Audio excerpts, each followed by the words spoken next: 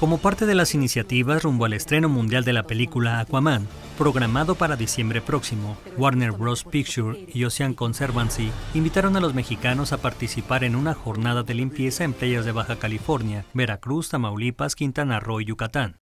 Las actividades se llevarán a cabo el 15 de septiembre en el marco del Día Internacional de la Limpieza Costera, debido a que, al igual que Aquaman, los mexicanos también podremos ser un héroe del océano.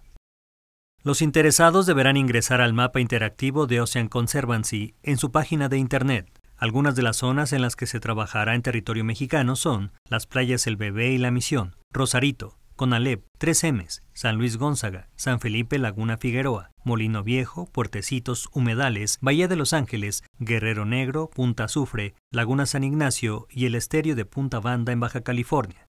Notimex.